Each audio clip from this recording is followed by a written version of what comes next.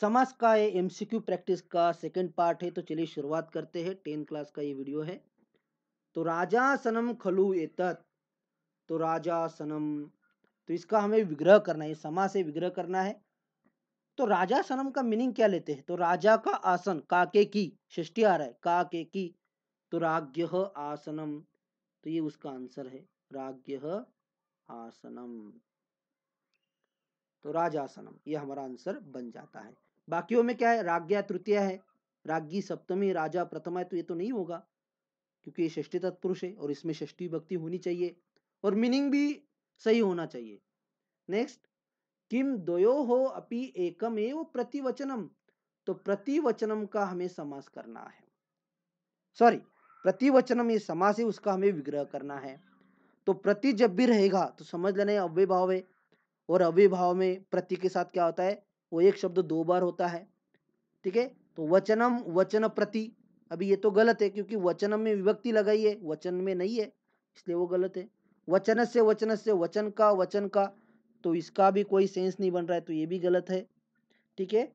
क्योंकि प्रति के साथ हमेशा द्वितीय विभक्ति होती है ठीक है? कभी कभी हमें सप्तमी भी दे, देखने को मिलती है मगर षष्टी कभी भी नहीं ठीक है?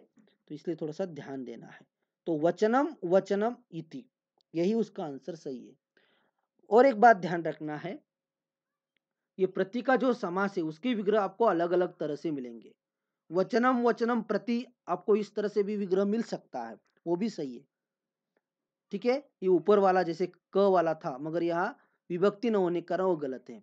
तो वचनम वचनम प्रति ऐसा भी मिलेगा वचनम वचनम इति ऐसा भी मिल सकता है, या फिर वचनम वचनम इतना भी मिल सकता है, उससे कोई फ़र्क नहीं पड़ेगा। ठीक है? आपको ये बात ध्यान रखना है। सर्वथा समरूप कुटुंब वृत्तांत तो कुटुंब वृत्तांत में हमें विग्रह करना ये समास है उसका विग्रह करना है। तो कुटुंब वृत्तांत का मतलब क्या होता है?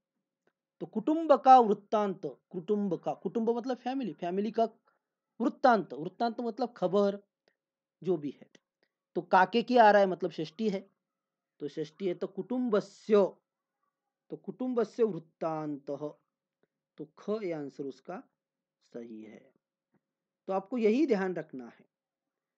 यहाँ क्या है? कुटुंब से वृत्तांतम दिया है। वृत्तांत समास में वो पुल्लिंग शब्द है, इसलिए उसका जो आंसर रहेगा वो भी पुल्लिंग में ही होना चाहिए। ये तत्पुरुष समास की एक खासियत है। इस बात को हमें ध्यान रखना है। इसलिए कुटुंब से वृत्तांत यही आंसर सही है। अपूर्व अयम मानवानाम सरस्वती अवतार हो सरस्वती अवतार हो तो इसका हमें विग्रह करना है। तो विग्रह करते समय पहले मीनिंग देख लेते। सरस्वती का अवतार, सरस्वती का, काके की आ रहा है। तो काके की तो सरस्वत्या सरस्वत्या अवतार। ये नदी की तरह चलेगा शब्द। सरस्वती शब्द है। ठीक है? इसलिए बाकी सब गलत है।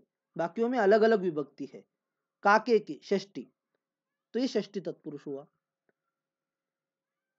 क्षत्रिय कुल पितामहयो हो सूर्य चंद्र यो हो इसका हमें समास करना है। तो सूर्य चंद्र यो हो कौन सा समास है? समास नहीं करना इसका विग्रह में करना है। समास ऑलरेडी है। तो विग्रह करते समय सबसे पहले हम इसे देख लेते हैं कौन सा समास है? तो ये द्वंद्व समास है। क्यों? क्योंकि इसमें दो शब्द और द्विवचन है। सूर्य और चंद्र और षष्टी द्विवचन है। इस बात को हमें ध्यान रखना है। षष्टी द्विवचन है। या तो सप्तमी द्विवचन भी आप बोल सकते हो। कोई फ़र्क नहीं पड़ता है, ठीक है? तो सूर्य चंद्र यो हो। तो सूर्य और अभी और एक बात ध्यान रखना है। तो जब हम विग्रह करते हैं तो यदि हम इसे षष्टि समझ रहे तो हमें एक वचन एक वचन करना पड़ेगा। तभी वो द्विवचन बन जाएगा, ठीक है? तो सूर्यस्य च चंद्रस्य च, ठीक है? तो देख लेते हैं, ऐसा कोई है क्या? अभी यहाँ देखिए सूर्य च, चंद्र च, ये गलत है। क्यों? क्योंकि यहाँ षष्टि है। अभी ये सूर्य प्रथमा है, चंद्र प्रथमा है। वो तो प्रथमा एक वचन, प्रथमा एक वचन क्या बन जाएगा? प्रथमा द्विवचन बन जाएगा। मगर हमें षष्टी द्विवचन करना है। तो इसलिए हमें विग्रह भी वैसा ही चाहिए। सूर्य से चंद्र से च। तो इसका यह आंसर सही है, सूर्य, चंद्र का। ठीक है? तो उसके बाद जो नेक्स्ट है, ये भी गलत है। क्यों? क्योंकि इसमें क्या हो रहा है? सूर्य च चंद्रयो च। चंद्रयो में द्विवचन है। अभी एक वचन और द्विवचन, क्या हो जाएगा? बहुवचन हो जाएगा। मगर हमारा आंसर चाहिए, द्विवचन चाहिए। सूर्यो हो चंद्रयो हो अभी सूर्यो हो ऐसा तो कोई शब्द होता ही नहीं तो ये गलत ही है, ठीक है? तो आपको ये ध्यान रखना है। नेक्स्ट कृषक बलिवर्दाभ्याम क्षेत्र कर्षणम करोती स्म। तो क्षेत्र कर्षणम में हमें विग्रह करना है। तो मीनिंग क्या है? खेत की जुताई, खेत की, काके की आ रहा है मतलब षष्टी विभक्ति है। तो क्षेत्र से कर्षणम क्षेत्र की जुताई।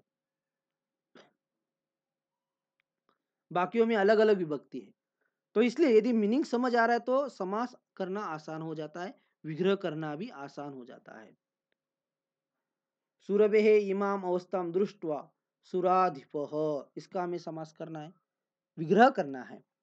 तो सुराधिप तो सुर सुर मतलब देव, अधिप मतलब राजा तो देवों का राजा तो देवों का राजा काके की तो यहाँ भी षष्टी विभक्ति है। तो सुराणाम अधिप। तो इसका ये लास्ट आंसर सही है, सुराणाम अधिप।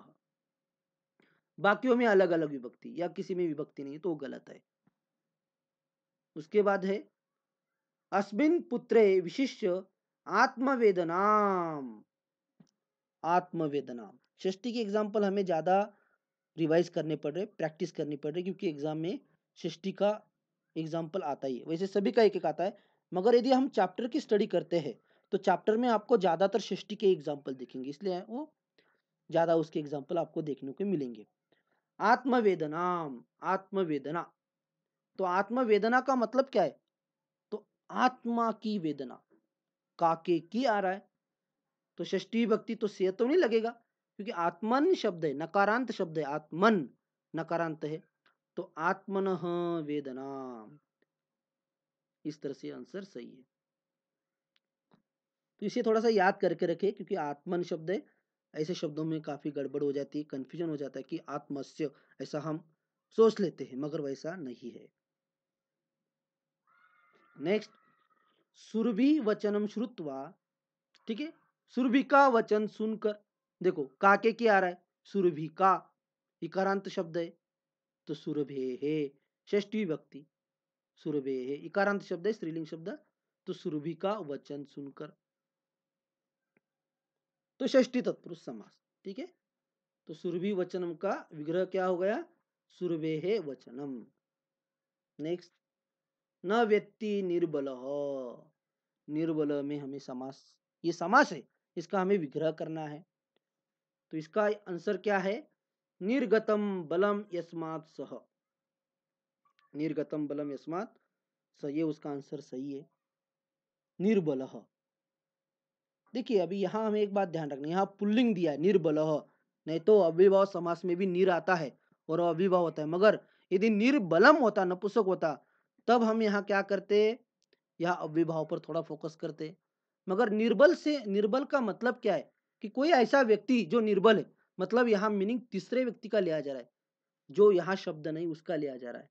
इसलिए निर्बल, निर्गतम बलम यस्मा जिससे बल चला गया है, जिसकी शक्ति चली गई है, जिससे शक्ति बाहर निकल गई, ऐसा व्यक्ति उसे कहते निर्बल कहते हम किसी को कहते हैं निर्बल है। निर्बल मतलब उसमें कुछ नहीं है अभी मतलब कोई ताकत नहीं है।